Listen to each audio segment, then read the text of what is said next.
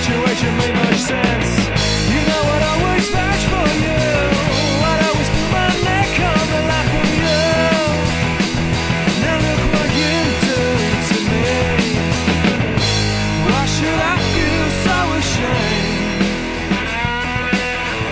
It's not like I am you, but somehow it just feels that way.